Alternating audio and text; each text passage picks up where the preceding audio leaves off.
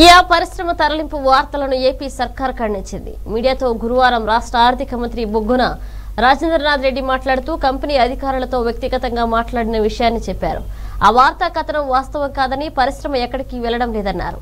Kia పరిశ్రమకు అడిగినవన్నీ ఇస్తున్నామని వాళ్ళు సంతృప్తితో ఉన్నారన్నారు. ఓర్చుకోలేక కొంతమంది ఇలాంటి కథనాలకు ప్రచారం చేస్తున్నారని తాజాగా విశాఖపట్నం నుంచి మరో కంపెనీ తరలిస్తున్నట్లు సామాజిక మాధ్యమాల్లో ప్రచారం జరుగుతుందన్నారు.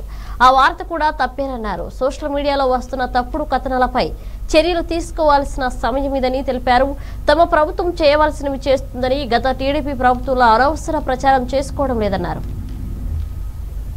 ఇబ్బంది లేకుండా ఏం కోఆపరేషన్ కావాలన్నా కూడా పరిశ్రమకు ఉంటుందని చెప్పి ముఖ్యమంత్రి గారు చెప్పడం జరిగింది. డిపార్ట్మెంట్ చెప్పడం జరిగింది. వాళ్ళు ఎక్స్ట్రీమ్లీ హ్యాపీగా ఉన్నారు కియా వాళ్ళు. ఎంత హ్యాపీ అంటే కియా వాళ్ళు ఈ ప్రభుత్వం ఏర్పడిన తర్వాత వాళ్ళ పాత అంటే ఎవరైతే వాళ్ళ ఆపరేషన్స్ కంత హెడ్ ఉన్నారో మిస్టర్ పార్క్ గారు హెడ్ ఆయన ఏమన్నారు? రెండు వేల ఎనిమిదిలో గౌరవ శ్రీ రాజశేఖర రెడ్డి గారు ఉన్నప్పుడు ముఖ్యమంత్రిగా నేను అప్పుడు హొండైకి రీసెర్చ్ అండ్ డెవలప్మెంట్లో ఉన్నాను.